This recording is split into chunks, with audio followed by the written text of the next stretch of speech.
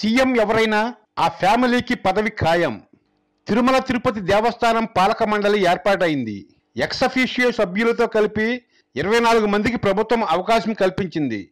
ఈ మేరకు పేర్లు ఖరారయ్యాయి. ఏపీ నుంచి ఎనిమిది మంది తెలంగాణ నుంచి ఏడుగురు తమిళనాడు నుంచి నలుగురు కర్ణాటక నుంచి ముగ్గురు ఢిల్లీ మహారాష్ట్ర నుంచి ఒక్కొక్కరు చొప్పున పాలక మండలిలో అవకాశం కల్పించారు. ఈ మేరకు ప్రభుత్వ ఉత్తర్వులు జారీ అయ్యాయి. ఇక ఏపీ నుంచి పాలక మండలి సభ్యులుగా వైసీపీ ఎమ్మెల్యేలు కొలుసు పార్థసారథి గొల్ల బాబురావు మేడ మల్లికార్జున రెడ్డిలకు అవకాశం కల్పించారు.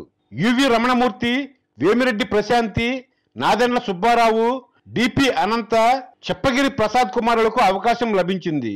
ఎక్స్ అఫీషియల్ సభ్యులుగా తొడా chairman endowment commissioner special CS TTD ఈఓలు ఉంటారు. ఇక రాజంపేట ఎమ్మెల్యే మేడ మల్లికార్జున రెడ్డికి పాలక మండలి సభ్యుడిగా అవకాశం దక్కింది. వరుసగా రెండోసారి మేడా కుటుంబానికి ఈ పదవి రావడం విశేషం. టీడీపీ ప్రభుత్వ హయాంలో ఏర్పాటు చేసిన పాలక మండలిలో మల్లికార్జున్ తండ్రి మేడా రామచంద్రారెడ్డికి అవకాశం దక్కింది. ఆయన వైసీపీ ప్రభుత్వం అధికారంలోకి వచ్చే ముందు వరకు పదవిలో కొనసాగారు. తాజాగా మేడా మల్లికార్జున రెడ్డికి పాలక మండలి పదవి దక్కింది. అప్పుడు టీడీపీ హయాంలో ఇప్పుడు వైసీపీ హయాంలో మేడా ఫ్యామిలీకి అవకాశం కల్పించారు.